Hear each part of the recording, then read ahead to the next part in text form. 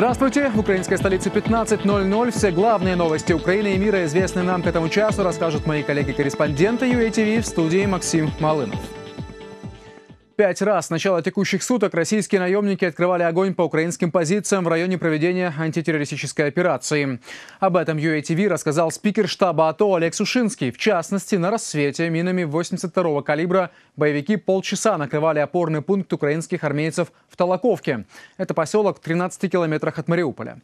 За прошедшие сутки военные насчитали почти полсотни вражеских провокаций, большинство на приморском участке фронта. Там оккупанты били из танков и выпустили более 130 мин из минометов калибров 120 и 82 мм, сообщили в Министерстве обороны. Во время выполнения боевых задач в результате подрыва на неизвестном взрывном устройстве погиб 40-летний защитник Украины. Один воин получил боевое травмирование. Состояние его здоровья средней тяжести. Вследствие вражеских обстрелов ранены двое военнослужащих, и еще один получил боевое травмирование. Военные доставлены в медицинские учреждения. Состояние их здоровья удовлетворительное. Донецкая фильтровальная станция возобновила свою работу. Об этом UATV рассказал глава военно-гражданской администрации Авдеевки Павел Малыхин. По его словам, сотрудники в сопровождении наблюдателей АБСЕ приехали на станцию, где уже запустили насосы и наполняют водой резервуары. И уже совсем скоро вода пойдет в Авдеевку и соседние населенные пункты. Люди работают там. Наблюдатели с обеих сторон стоят, то есть происходит зеркальное патрулирование. Сотрудники будут работать до пяти вечера. После этого я получу информацию, на каком они этапе. Но когда будет вода, я, к сожалению, не знаю. Я напомню, что работу Донецкая фильтровальная станция прекратила в среду 18 апреля в связи с обстрелом накануне автобуса с сотрудниками предприятия. Ранены пять человек. Станция находится в 12 километрах от оккупированного боевиками Донецка на нейтральной территории. Она обеспечивает водой более 350 тысяч жителей Донецка, Авдеевки и соседних населенных пунктов по обе стороны от линии разграничения. 37 человек погибли, 62 ранены в результате двух терактов на центры регистрации избирателей в Афганистане. Об этом сообщают правоохранительные службы страны. Первый взрыв произошел около 10 утра по местному времени в Кабуле. Там погиб 31 человек и 52 ранены. Теракт совершил смертник. Ответственность на себя взяла террористическая организация «Исламское государство». Ну а через два часа самодельное взрывное устройство сработало в провинции Баглан. Там 6 человек погибли и 10 ранены. 7 июля в Афганистане пройдут парламентские выборы. Регистрация избирателей на них началась уже в прошлую субботу. С того времени в стране произошло 5 атак.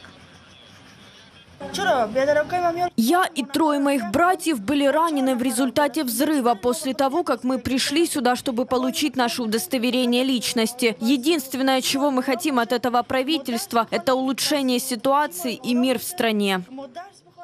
Теракт у Центра регистрации избирателей в Кабуле уже осудил генсек НАТО Йенс Столтенберг. Он отметил, что Североатлантический альянс поддерживает Афганистан в борьбе с терроризмом и за демократию. 49 человек задержала полиция во время протеста в Ереване. Среди них лидер акции, э, лидер акции оппозиционер Никол Пашинян.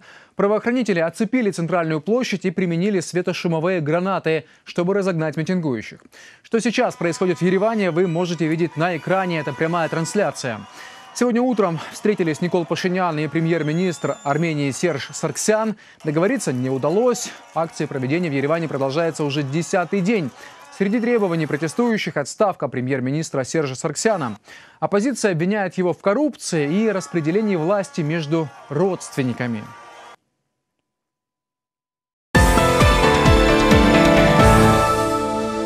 Чемпионат мира по хортингу – это боевое искусство, созданное в Украине, проходит в Латвии.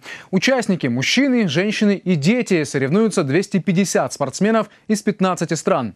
Все подробности об этом знает мой коллега Олег Шумейко. Украинский национальный вид спорта хортинг продолжает завоевывать популярность во всем мире. После чемпионатов мира в Польше и Украине третье первенство планеты проходит в Латвии, в Даугавпилсе. В чемпионате мира принимают участие 250 спортсменов из 15 стран. Большинство участников из Украины. Спорт єднає людей. Спорт объединяет людей. Он заряжает, он формирует молодых девушек и парней. Не только как личности, он готовит их к защите Украины. Наша страна сейчас переживает тяжелые времена, и это можно считать элементом подготовки. Поединок проходит на хорте. В первый день чемпионата мира определяют лучших в разделе «Схватка». Во второй день вместе с захватами, бросками, болевыми и удушающими приемами участники продемонстрируют и ударную технику. Первым чемпионом латвийского турнира стал представитель Украины. Игорь Няговский побеждал и на предыдущих чемпионатах мира. Есть пословица, что всегда везет победителю, но все-таки без везения, я считаю, выиграть тоже. Ну, всегда есть доля везения. Потому что анализируя свои предыдущие бои, там где-то выиграл у сильных соперников, то думаю, что чаша могла склониться как в их, так и в мою сторону. Просто мне в тот, в тот день везло больше. Свои силы здесь пробуют и дети. В самой младшей и самой легкой весовой категории чемпионкой мира стала девятилетняя Елизавета Колотыла. Она занимается еще и танцами. Чемпионка Украины в виде контемп. Кожная девчонка Каждая девочка должна защищать себя сама. Я сначала хотела попробовать, что такое хортинг, потому что мой брат занимался им. Я попробовала, и мне сказали, я обязательно стану чемпионкой мира. В заключительный день соревнований участники чемпионата мира будут сражаться за медали в разделе «Поединок». Олег Шумейко, Тимофей Сорокин, Даугавпилс, Латвия, UATV. Духовность и культура под одним готическим сводом. В Киевском доме органной музыки, здании костела Святого Николая, проходят как богослужения, так и классические концерты. Уникальная атмосфера старинного здания, построенного 110 лет назад, ставит его в один ряд с наиболее выдающимися архитектурными памятниками украинской столицы. Моя коллега Оксана Опрышко изучила историю старинного костела и выяснила, как его создатели в своем проекте совместили искусство и бизнес. Все подробности далее в сюжете. Утонченные шпили башен, окно роза над центральным входом. Эти элементы готического стиля в первоначальный проект внес киевский архитектор Городецкий. Фасад оживил ажурной лепниной, изображениями святых, украсил ящерицами и грифонами. Все скульптуры по эскизам Городецкого изготовил известный миланский скульптор Элио Соля из нового в то время материала – цемента, рассказывает руководитель Музея истории города Киева Людмила Мороз. Не исключает, при декорировании костела архитектор сочетал творчество с маркетингом.